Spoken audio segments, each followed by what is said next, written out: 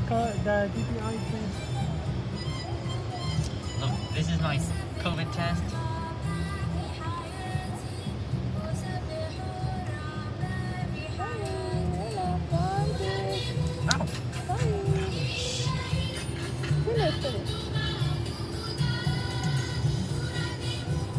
Uh,